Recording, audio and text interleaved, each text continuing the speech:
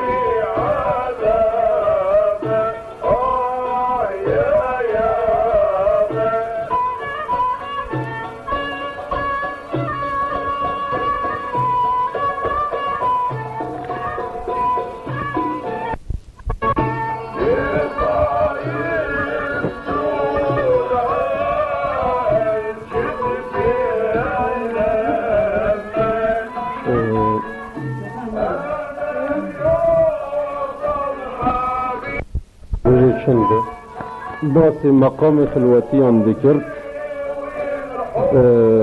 روژی بیست و چاری کانونی یکمی هزار و نوتد هشتا و للاستضافة وشكرا للتقديم. من الممكن أن نتحدث عن مقام العجم خاصة بعد الشرح الوافي اللي تفضلوا به الأساتذة كون أن هذا المقام يخلو من نغمة الربع. أن خلو هذا المقام من نغمة الربع ساعد على انتشار بعض الأغاني والمقطوعات الموسيقية العربية والشرقية آه، في الموسيقى الأوروبية. لكون الموسيقى الأوروبية كما هو معروف تعتمد في آه، تلاحينها وما تقدمه من سيمفونيات وكونشيرتو وأنواع أخرى من المعزوفات على مقامي آه، العجم والنهاود ومشتقاتهما بالطبع. لهذا فإن الموسيقى العربية والشرقية أخذت طريقها إلى الأسماء الأوروبية بواسطة هذين المقامين.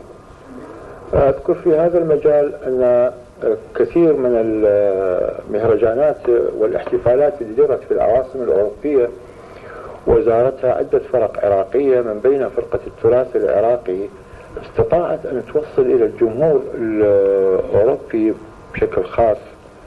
آه، كثير من القطع والأغاني العراقية وفق هذين المقامين هذه نقطة.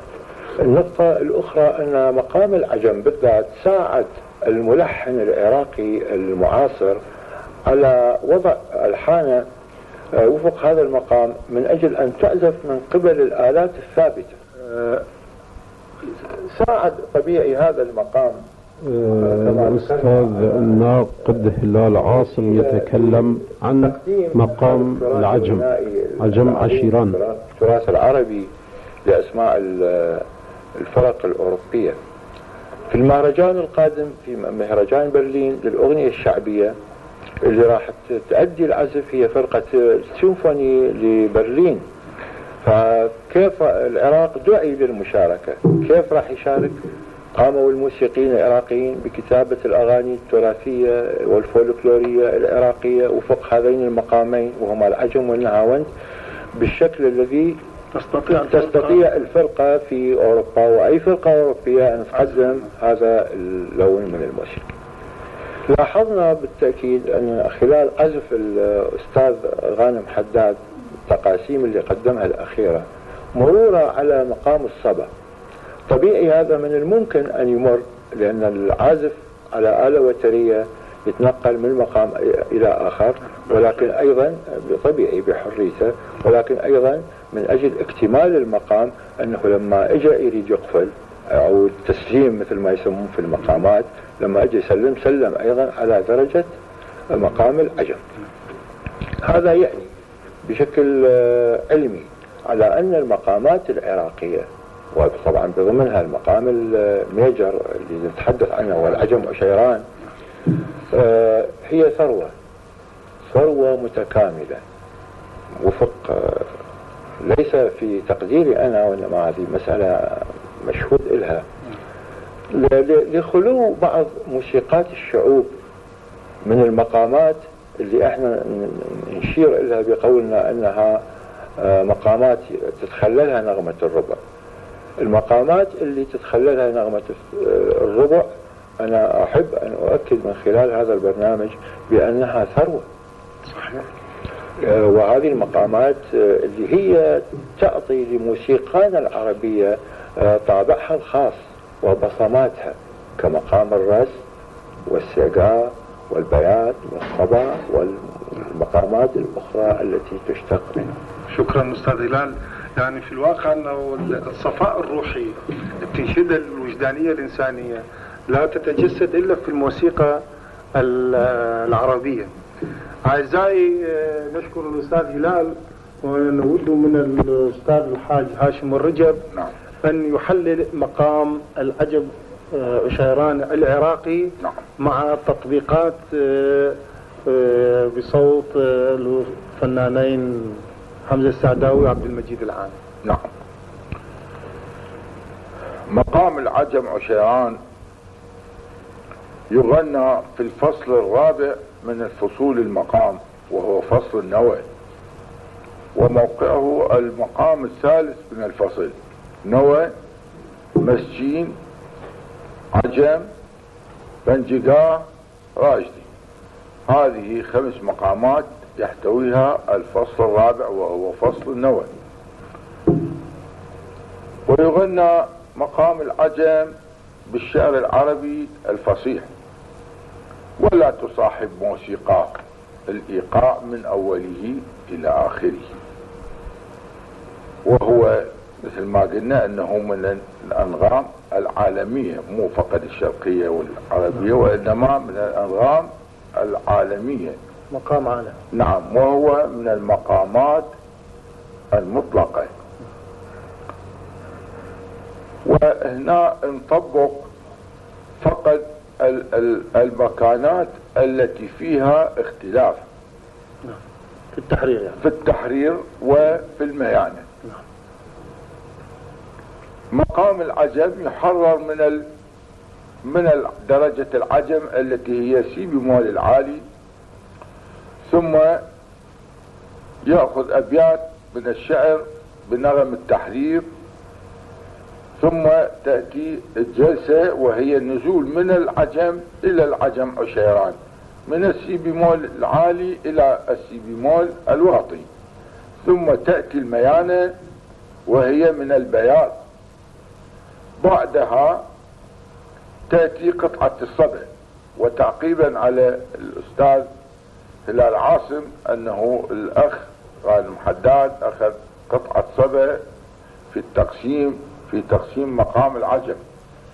فعندنا في مقام العجم أيضا تدخل قطعة صبع وفي مقام الخلوة أيضا تدخل, قطعة صبع كما سمعناها من الأخ حمزة السعداوي في مقام الخلوة. ثم بعد الصباح تأتي يأتي التسليم وهو مثل ما جلسة النزول من الجواب إلى القرار من السيبيمول العالي إلى السيبيمول الواطي وهو نهاية التسليم. ومنهم من يعيد ومن يعمل ميانتين بالعجم ولكن هذا ما إلها موجب لأنه متشابهتين وهذا ما داعي لو يوجد اختلاف بين الميانتين يجوز أنه واحد يسوي ميانة مثل بالريست أكو ميانتين ثلاثة بالسيقاو ميانتين أكو ميانتين بالمقصود ميانتين لكن في مقام العجب متشابهه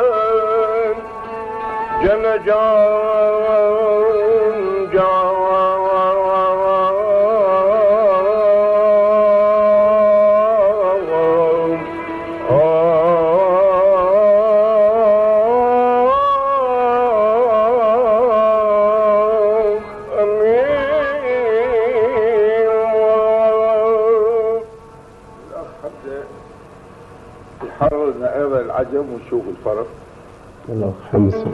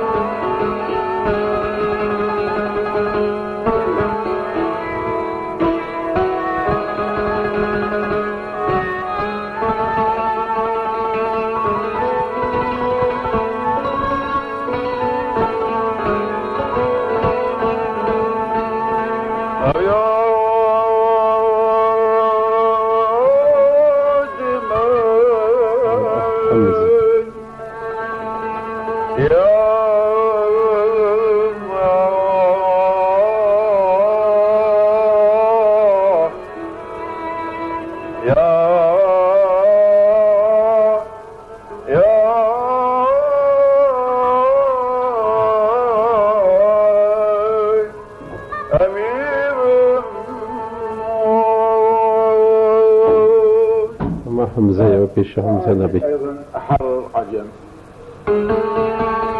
محمد الرجب يحرر عجم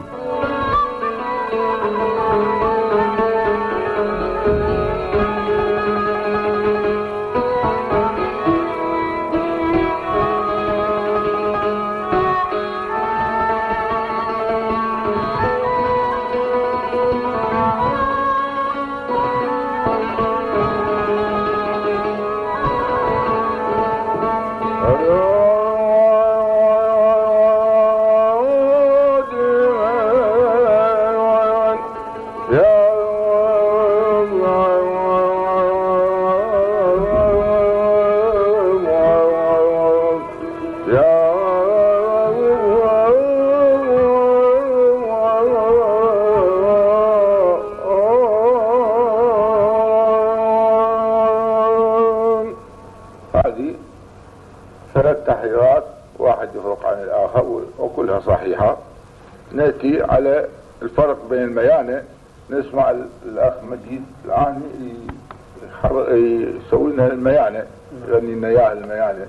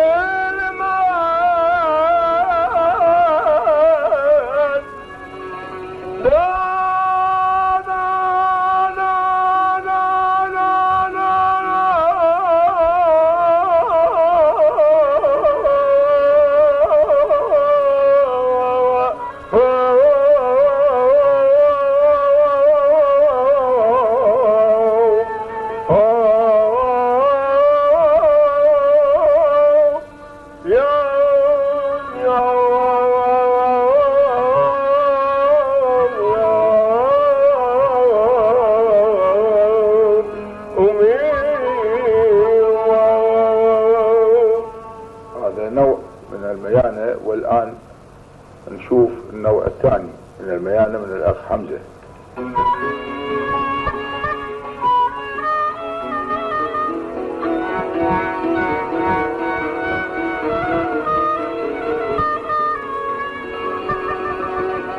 Hello.